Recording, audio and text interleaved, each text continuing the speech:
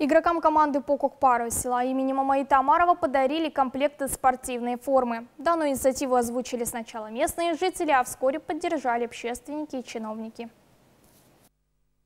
Команда по кокпару здесь появилась чуть более года назад, пока спортсмены выступают только на межпоселковом уровне. Принимать участие в соревнованиях большего масштаба не представлялось возможным по ряду причин. Одна из них – отсутствие экипировки. Восполнить пробел удалось благодаря механизму поддержки гражданских инициатив в сельской местности в рамках государственного социального заказа Управления информации и общественного развития. Общественное ведение МАКСУ «Наш общий дом» был получен малый грант в размере 500 тысяч тенге. Целью является решение социальных проблем в сельских округах.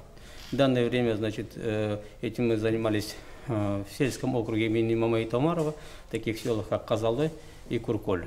На данное время значит, в этих селах имеется э, команда в составе 10 человек, двух судей и специально обученные лошади. Таким образом, спортсменов обеспечили десятью комплектами единой формы в национальном стиле, в том числе головными уборами бюрек, сапогами саптамаеток и двумя муляжами козлиной туши. Новая экипировка должна придать еще больше командный дух как во время показательных выступлений на торжественных культурно-массовых мероприятиях, так и на состязаниях, уверены игроки.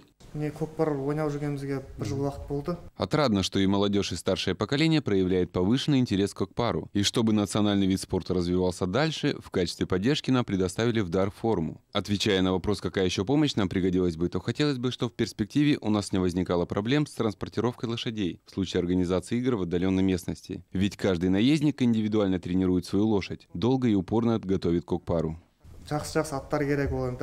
Тысячелетиями кочевники закаляли характер, играя в кокпар. Сегодня же это не просто древняя конноспортивная игра, а национальный вид спорта, популяризации которого отводится особое значение. Так, желающих выступать за сельскую команду по кокпару среди местной молодежи раз за разом становится все больше. И подобная поддержка извне стимулирует ребят ставить перед собой новые амбициозные цели. В планах у спортсменов сыграть с командами из районов Аккулы, Майского и Экибастуза.